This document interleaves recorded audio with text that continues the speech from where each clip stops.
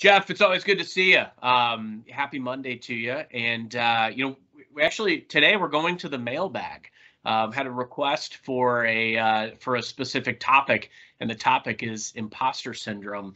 And uh, I don't know about you, definitely something that I've grappled with over the years, believe it or not. Um, I think first off, the key is acknowledging and uh, accepting, but uh, love to talk through it here with you today. And um, in preparation for today, actually pulled up the definition so that everybody knows uh, what specifically we'll be talking about. But imposter syndrome refers to an internal experience of believing that you're not as competent as others perceive you to be. Uh, while this definition is usually narrowly applied to intelligence and achievement, uh, it has links to perfectionism and the social context as well. Would love to get your thoughts on imposter syndrome, Jeff. Is it something that you've grappled with? Uh, if so, how have you handled it? And uh, what would you share with our listeners today?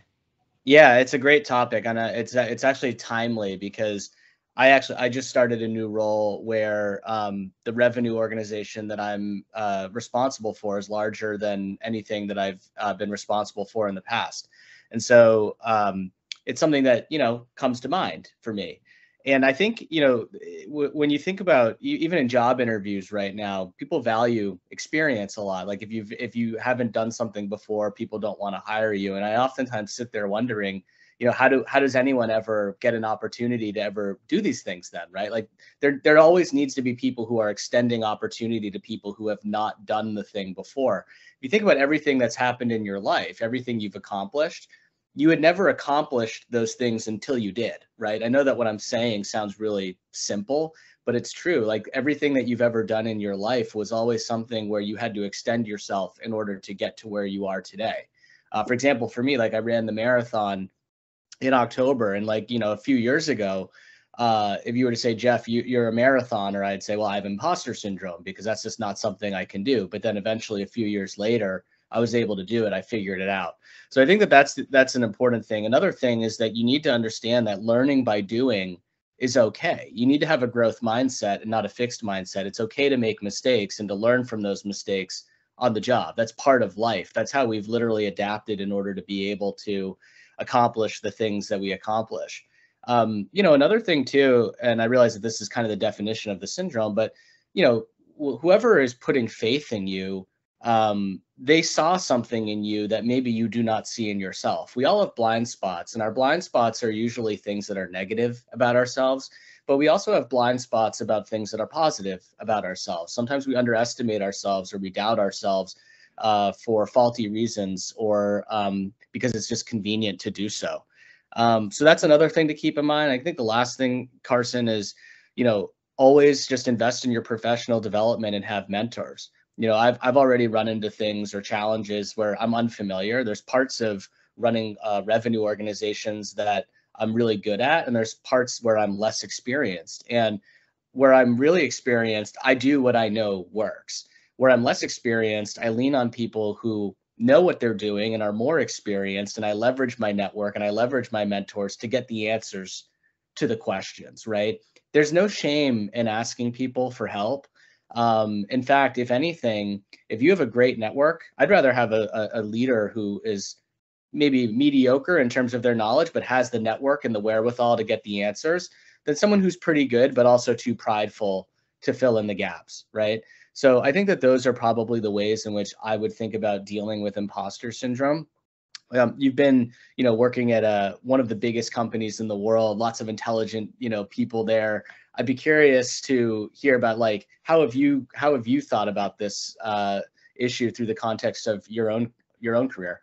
Yeah, I loved your thoughts, Jeff. I think you were spot on. And it's look, I've lacked confidence in where I was often uh, in my career. And oftentimes like you said just starting out in new roles. You know i've started out in new roles numerous times whether it was at a new organization um, or you know getting a promotion or you know just being surrounded by a new set of circumstances.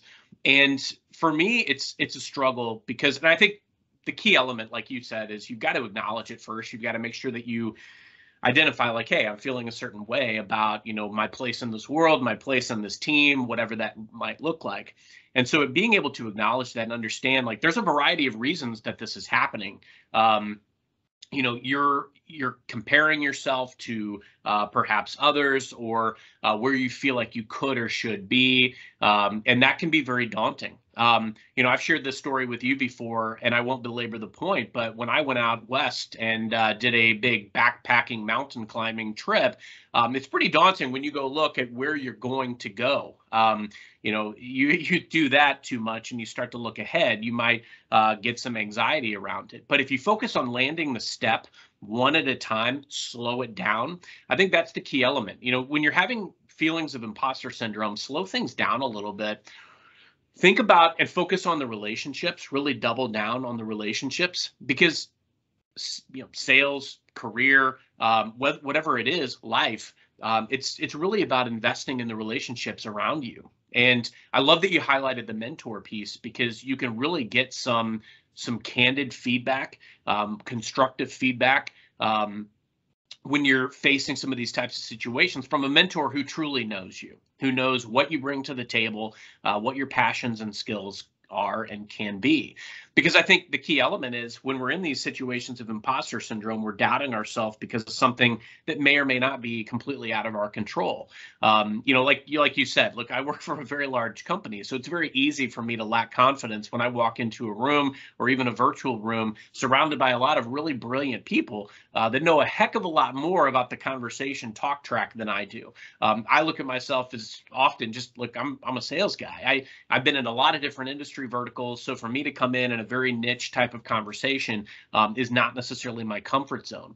But what you what I find surprising a lot of times too is that when I talk to some of the super technical folks, um, you know, they may not be they may feel intimidated around salespeople because salespeople are usually very extroverted or at least uh, very you know put a, come across with a lot of charisma and uh, you know some people you know we talk to a lot of very introverted folks sometimes and there may be on the other side of the table um, some some lack of confidence as well. So i think the key element is just to you know to get grounded and feel good about you know where we are uh, what we bring to the table. Uh, focus on your strengths. Uh, don't try to compare yourself to other folks. Um, you know it's real and then get that candid feedback from people like mentors and other people on your team. Ask for feedback too.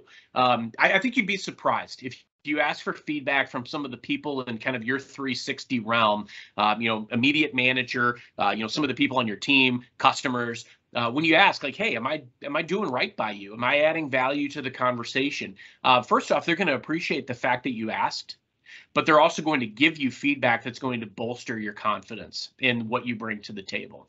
It amazes me every day uh, that people tell me that i'm having an impact um, on some of the things that they're doing but believe it that behind the scenes, I struggle with the exact same things. Like, what could I possibly bring to this conversation? Or am I going to handle this situation right? Or, you know, even just going into a meeting. Um, you know, I have these situations all the time, but for me, it's really helped to slow it down and uh, to just focus on landing the step and uh, to do so effectively. Focus on controlling what I can, uh, knowing the value that I do bring to the table, and trying to really focus on adding that value to everybody that I come in contact with so that at least I can have a positive impact and influence. And it helps to quell some of those feelings of inadequacy that I have. Um, the last thing I would say on that, again, when you acknowledge uh, that you're having these, is trying to figure out like where could this have possibly come from? You know, am I uh, you know, was I raised in an environment where maybe I was uh, didn't feel good enough? Um, you know, I was an only child. I always just wanted my parents to be proud of me, so I tried to do everything I possibly could uh, to do that. And uh, you know, earlier in life, I may not have felt like I was achieving that mark. Um, today, it's really easy. You scroll a social media feed, and all you see is how great everybody's life is. So you look at yours, and you're like, man, my life sucks. Um, and so it's really easy to find where some of these feelings of inadequacy could be coming from. So uh, focus on controlling the controllables and landing the step. And I think it will quell some of the feelings of uh, imposter syndrome that you might be having. Great advice. Focus on your locus of control and stay off social media, except for LinkedIn. That's right. The greatest platform in the world. Yep. Love it. Good stuff. As always, Jeff. Thanks so much.